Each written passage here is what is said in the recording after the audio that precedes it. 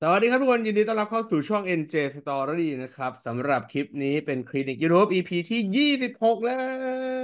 ว คลิปก่อนหน้าไม่นับนะ คลิปก่อนหน้าถือว่าเป็นคลิปพิเศษที่ทำวิธีเปิดสร้างรายได้ ประจำปีทำปีละคลิปเนาะส่วนคลิปนี้ก็เป็น EP ที่ 26 นะครับ ก็เป็นเรื่องราวหนึ่งนะครับที่อยากจะมาแชร์ให้ฟังผู้ติดตามจาก 600 สู่1แสน Subscribe โดยใช้เวลาไม่ถึงเดือนทำได้อย่างไร ก็จากช่องพี่หนูนาพาเพลิน พาม้วนพี่หนูนาพาม้วนเออพาม้วนอ่าโอเคมามาดูกัน ก็จริง ๆ แล้วพี่หนูนาเนี่ยก็อยู่ในกลุ่มของเรานะครับอ่า Line Open Chat เนาะสังคม YouTube by NJ Story ตอนนี้ก็มีสมาชิกอยู่มัน 480 กว่าท่านแล้วนะครับ พี่หนูนาเนี่ยก็ส่งเข้ามาเลยนะว่าส่งรูปเข้ามาขอเอ่อในส่วนของโล่ YouTube หนึ่งแสน subscribe ใช่ไหมขอสอบถามหน่อยระบบแจ้งเข้ามาว่าให้โล่ได้เงินแล้ว แต่ว่าไม่ทราบว่าชื่อที่สลักต้องเป็นภาษาไทยหรือภาษาอังกฤษ อะเราเนี่ยเคยขอมาก่อนหน้านี้นะครับ แต่ไม่ใช่ช่องผมนะขอให้คนอื่นเขาก็ชื่อช่องก็คืออ่าภาษาไทยก็ได้ภาษาอังกฤษได้หมดนะก็เป็นความรู้นิดหนึ่งก็แจ้งทุกคนนะครับ แล้วก็มีคนบอกว่าอะพี่เจริญบอกสุดยอดเลยเก่งมากนะครับ ขอบคุณมากเยี่ยมมาก ก็โอ้ก็ทุกคนก็ดีใจนะครับ ชื่นชมกับพี่หนูนาด้วย ทีนี้ประเด็นเนี่ยก็มีคนมาถามถามในกลุ่มนะครับว่า เอพี่หนูนาเนี่ย ก่อนหน้านี้นะครับ มีผู้ติดตามอยู่ประมาณหกร้อยคนหกร้อยคนก็ใช้เวลาเนี่ยไม่ถึงเดือนนะไม่ถึงเดือนก็ทำให้มีผู้ติดตามถึงหนึ่งแสนก็คุยกันไปคุยกันมาว่า เอ๊ะ พี่หนูนาทำอย่างไรนะครับ พี่หนูนาก็บอกว่ามันมีคลิปเปลี่ยนชีวิตเนี่ยคลิปนี้เป็นคลิปช็อตนะครับอันนี้นี่นี่คลิปนี้เลยอ่าคงไม่มีคนเห็นหรอกเนาะนะครับห้าสิบสี่จุดห้าล้านวิว ล้านวิวนะครับ ดูนะ เห็นป่ะประมาณเดือนเอ่อปลายปลายเดือนธันวาตรงนี้ใช่ไหมแล้วก็โดดขึ้นไปนะครับ โอ้โหโดดขึ้นไปแบบ ว้าว ว้าว ก็คือแบบวันละเนี่ยสองล้าน วันนี้สองล้าน วันนี้สี่ล้าน วันนี้หกล้าน วันนี้สี่ล้าน ขึ้นแบบไม่ยั้งเลยนะครับทำให้ผู้ติดตามจากหกร้อยคนเนี่ย กลายเป็นหนึ่งแสนผู้ติดตามนะครับ ผ่านคลิปช็อตหนึ่งคลิปนะครับ ก็ดินดีด้วยนะทุกคน เอ่อสำหรับคลิปนี้นะครับอ่านี่คือนาบอกว่าตอนแรกเนี่ยมีหกร้อยกว่าใช่ไหมแล้วก็บอกก้าวกระโดดตกใจเลยนะครับ มือไม้สั่นทำอะไรผิดถูกหมดเลยกรอกภาษีสี่ห้ารอบกว่าจะผ่านเออเป็นผมผมก็ตกใจนะว่าแบบเฮ้ยเกิดอะไรขึ้น ก็คลิปที่ได้ห้าสิบสี่ล้านวิวของพี่หนูนานะครับพาม้วนก็คลิปนี้เลยนะครับ ชื่อคลิปว่าคงไม่มีใครเห็นเนาะอ่าแล้วก็ใส่แฮชแท็กคลิปตลกคลิปขำๆคลิปฮาๆนะครับ คนกดถูกใจสามจุดหกแสนนะครับ มีคอมเมนต์สองจุดสองพันนะทุกคน ก็บอกว้าว ไม่ไม่ธรรมดาเลย เป็นคลิปที่แบบอ่าไม่มีเสียงพูดนะ เป็นแบบแสดงท่าทางแต่ว่ามันตลกนะครับ แล้วก็มันมันมันเข้าใจความหมายของเรื่องที่กำลังสื่ออยู่นะทุกคนสำหรับตัวนี้ก็เป็นช่องพี่หนูนานะครับ อ่า ก็สามารถไปติดตามกันได้ เดี๋ยวผมทิ้ง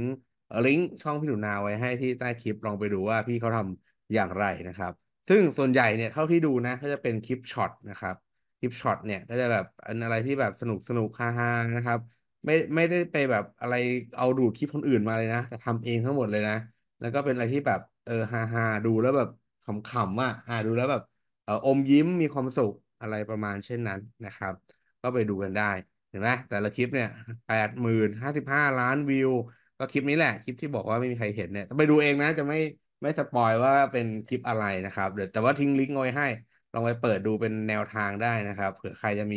ได้รับแรงบันดาลใจจากพี่หนูนานะ เนี่ยแต่ละคลิปอ่าเจ็ดพันกว่าวิวสามจุดเก้าล้านสองหมื่นเจ็ดพันสามซึ่งถือว่า rate rate เนี้ยเยอะมากนะ ผมบอกก่อนทุกคนว่า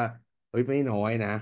อ่าปกติเราลง short เนี่ยพันวิวก็เก่งแล้วนะครับแต่พี่หนูนาเขามีความสม่ำเสมอในการลง แล้วก็เนื้อหาของคลิปเนี่ยค่อนข้างที่จะเป็นอ่อทิศทางเดียวกัน ดูเข้าใจได้ง่ายนะทุกคน เนี่ยก็เป็นประมาณประมาณอย่างนี้นะครับ ทีนี้คำถามว่าเอ๊ะแล้วผมได้เรียนรู้อะไรจากพี่หนูนาบ้าง หรือว่าคนที่กำลังฟังคลิปนี้อยู่ คิดว่าได้อะไรบ้างนะครับเขาแค่ดวงดีหรือเปล่า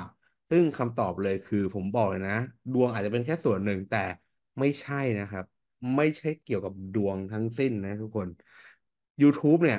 นะครับ ที่ผมได้นะหนึ่งเนี่ย คือพี่หนูนาเนี่ยลงแบบสม่ำเสมอนะครับ ใครไม่ลงคลิปสม่ำเสมอเนี่ย รับรองว่ายากอย่างขั้นต่ำอะก็ต้องมีแบบเดือนละหนึ่งคลิป สัปดาห์ละหนึ่งคลิป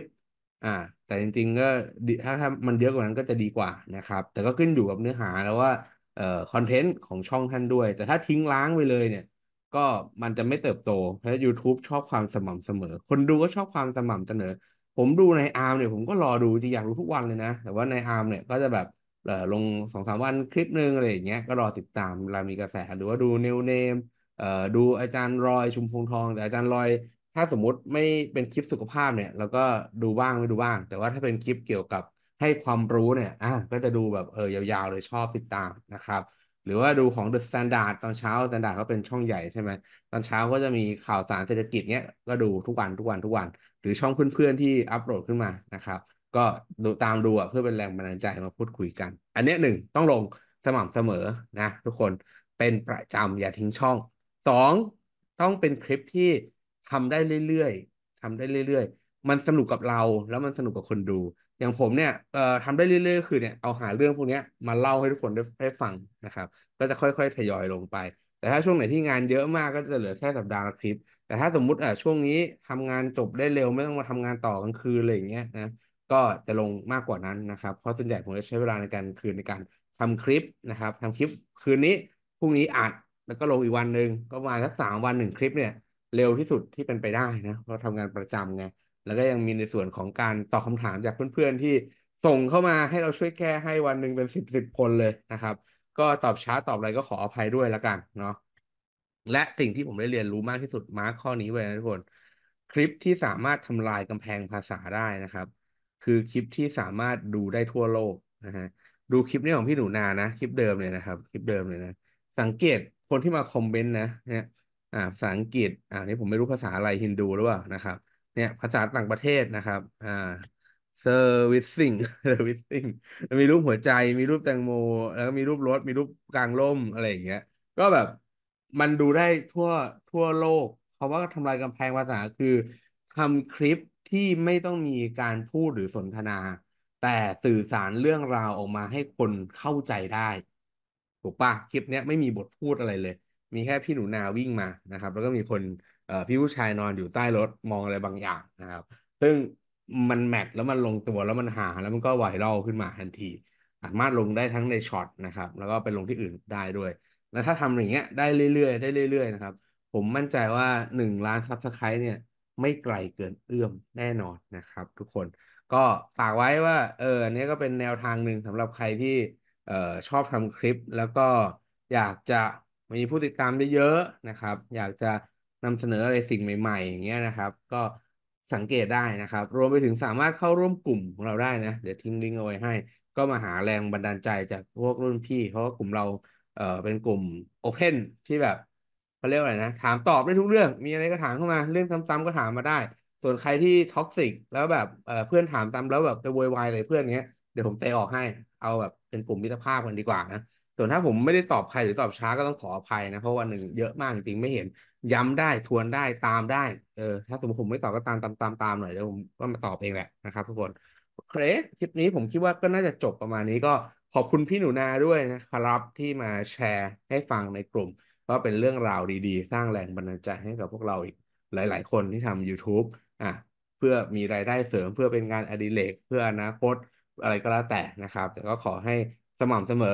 นะแล้วก็เป็นคอนเทนต์ที่เราเป็นเจ้าของเป็น original จากเราจริงๆนะทุกคนก็ฝากไว้ประมาณนี้นะครับ โอเค ถ้าคลิปนี้มีประโยชน์ก็อย่าลืมกดไลค์ กดแชร์ กด Subscribe กดกระดิ่ง แจ้งเตือนที่ช่อง NJ Story ด้วยนะครับ หรือจะกดปุ่มซุปเปอร์แตงให้กำลังใจผมก็ได้นะ คลิปนี้ขอลาไปก่อนนะทุกคน บ๊ายบาย